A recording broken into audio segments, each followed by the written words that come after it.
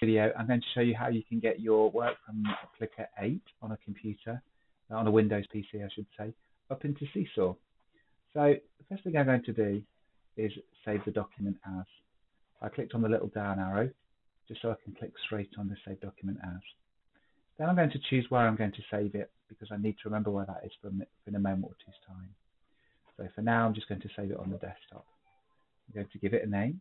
I'm going to call it My Work put a caps lock on. So let's put it the way around. My work. This is the really important bit. Instead of a clicker doc, we're going to save it as a PDF. And I'm going to click save. And if we give it a moment or two, if I minimize clicker for a moment, hopefully we'll be able to see my work on the desktop if I've saved it properly. Can I see it anywhere?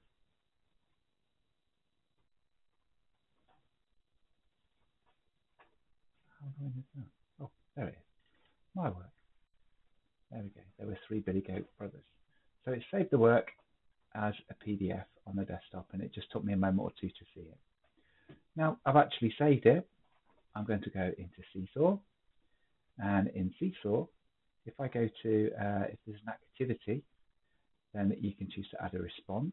If the teacher set an activity for the clicker document to be posted uh, into, so for instance, a shape coding a bit of work or whatever, then uh, I click on the add and then I'm going to choose upload.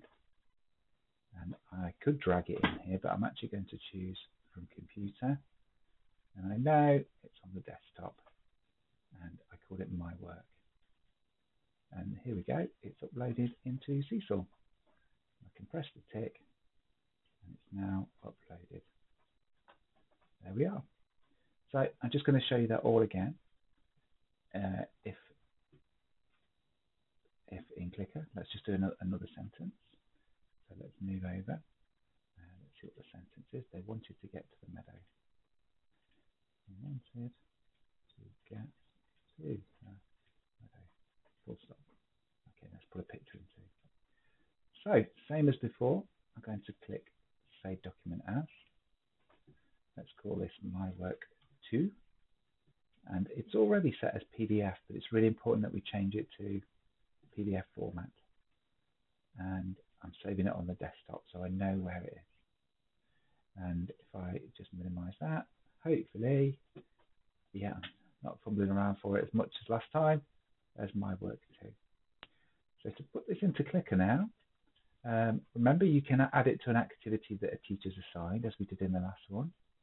Or you press, press the big green plus, it'll take you to screen. And from here you can choose upload from computer. And there's my work too. And then if I press tick, and that's me, and then hopefully it's going to upload. There we are. So that's two different ways of uploading the PDF to Seesaw. By the way, once it's actually uploaded into Seesaw, if you need to, uh, you can actually, now it's in Seesaw here, look, if you need to, you can actually add to it as well, completed, which is kind of quite quite neat if you want to put something that you've missed. Or you can even record uh, a voiceover if necessary.